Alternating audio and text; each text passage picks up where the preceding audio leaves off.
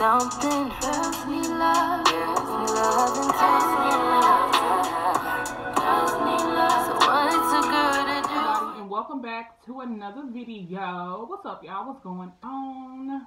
How's everybody doing? How's y'all week going? How's y'all life going? I hope wonderful. I hope amazing, of course. If you haven't already hit that subscribe button, please go ahead and do that now. Become a part of the family. I would love to have you. And my A1 Day ones, what is up, y'all?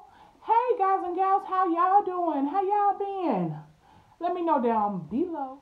All that aside, y'all. So, from the title and from the thumbnail, today I'm going to be tasting these sunflower seeds that I found. Yeah. I'm on keto, so I don't necessarily eat a lot of tacos.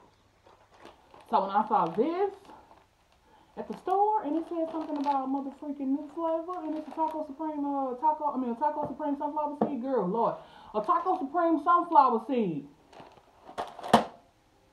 Shucks. A taco supreme sunflower seed, y'all.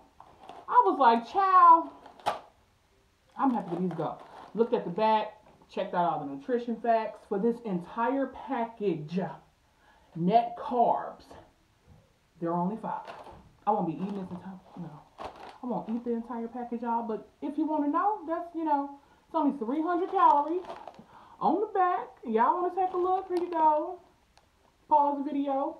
Check it out. I found these at Dollar Tree, y'all. So if they're good, your girl is going back.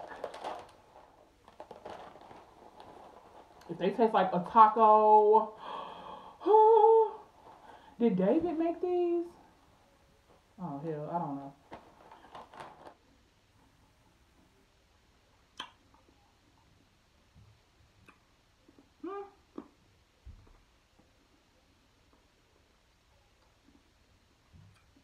Okay. Maybe I should pop a whole handful.